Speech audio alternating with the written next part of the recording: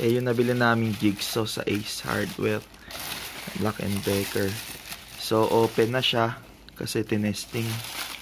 520 watts. Variable speed. Pendulum jigsaw. Okay, 1 year. Home use guarantee. KS701PE model. Okay. Yan ang presyo. 3499 pero naka-sale siya. Bali ang binayaran lang namin ay magkano to? 2,000? 2,000 2007 99 may 99 pa eh.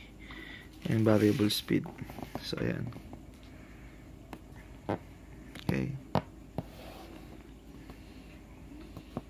Declip lang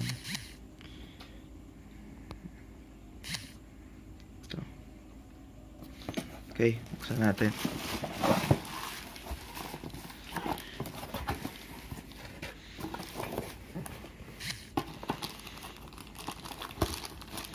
Tulungan mo kaya ako maghawak mo. Okay, ayan.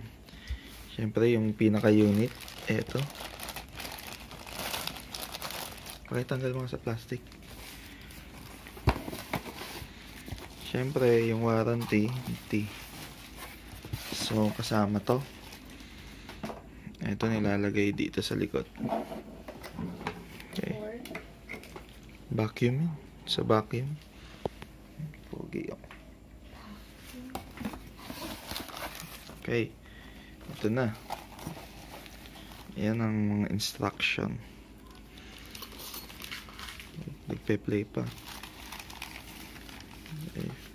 Meron siyang tatlong libreng talem. So, and Speedwood. Okay, may tatlo. Tapos, syempre, instruction. Yan ang kasama. Unboxing. No, Black and Decker. Uh, KS701PE. Ito po yung mga nilalaman yan. So, pag kayo, bibili kayo ng ganito, meron na siyang tatlong talim, syempre. At eto na siya. Okay. Good. Bali, bali yan. Ha, mga tutok. Tutok mo na na ganyan. Yan. Ah. Oo, tutok sa mukha ko. Okay. May na lang siya.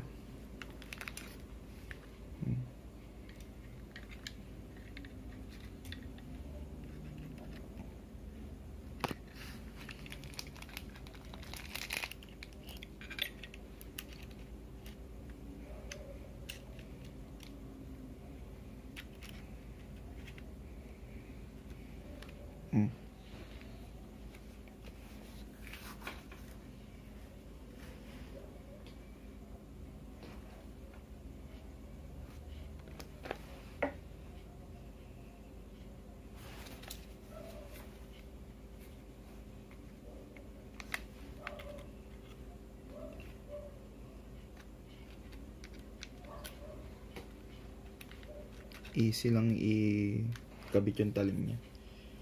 Easy.